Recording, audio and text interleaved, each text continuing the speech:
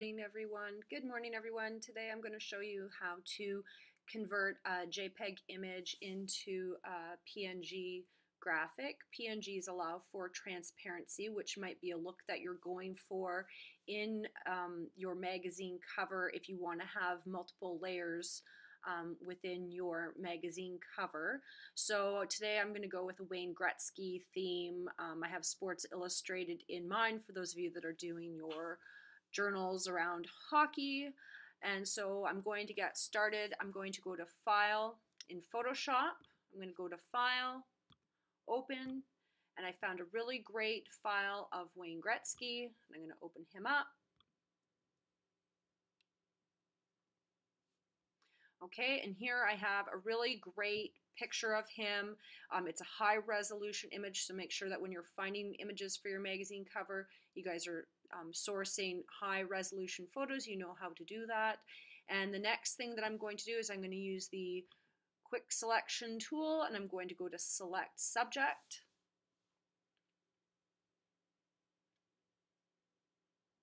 Okay, so Photoshop's just analyzing my photo.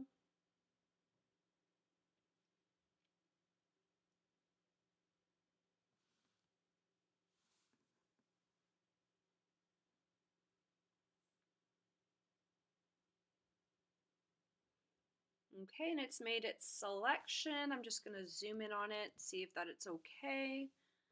It didn't miss anything. Oh, maybe a little bit of his glove there. Got to add to that.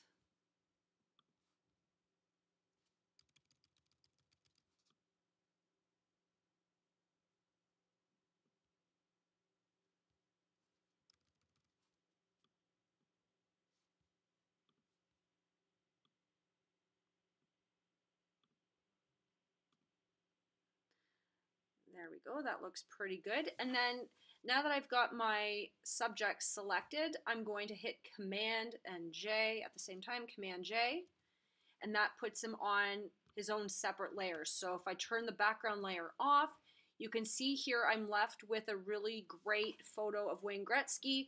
The gray and white background indicate that it's a transparent graphic.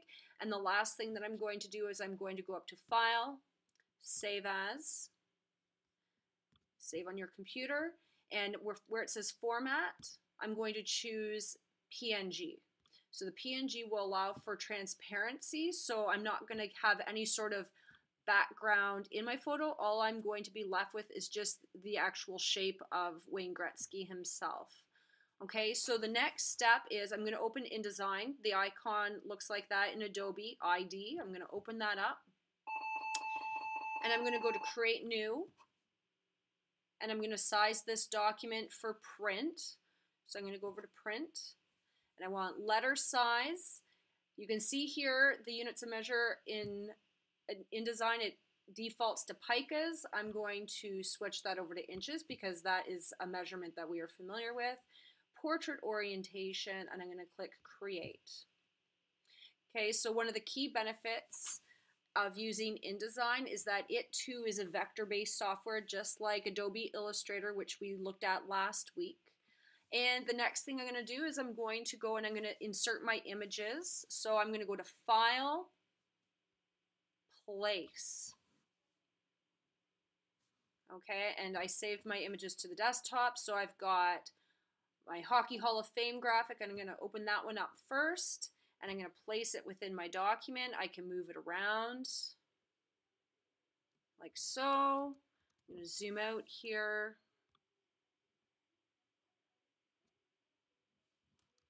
Okay, zoom back in. So I'm just sizing it to fit my 8.5 by 11 document. Now you'll notice, you're probably wondering, where did half of her drawing go? Well, I can reposition it if I switch over to the direct selection tool. So see how I'm on the direct selection tool? You can now see this brown box and I need to resize that in order to be able to include the whole image there. And there's been some funky distortion happening, so I might just keep that sort of without the, there, center that more like that.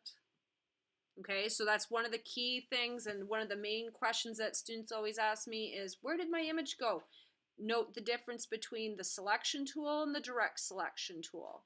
Okay, the next thing I'm going to do is I'm going to go and I'm going to grab my image of Wayne Gretzky. I'm going to go to File, Place,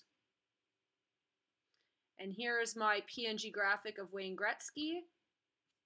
And I'm going to put him in here as well.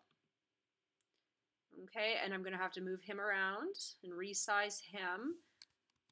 Actually, I'm just going to switch back over to my direct selection tool here.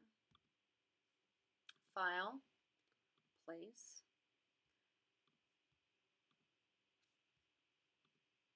There we go, and I'm going to move him. Zoom out. See, the picture insert's quite large, so I need to resize him. And now I'm going to switch over to my direct selection tool. As you can see, it too needs to be resized. Zoom in. We want to make sure we're using really high quality graphics on our magazine cover.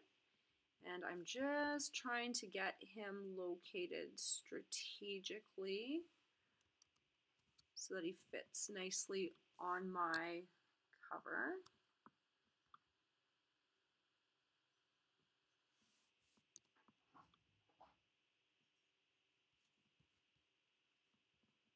Like so. Okay, so that's how you get PNG graphics into your InDesign programs.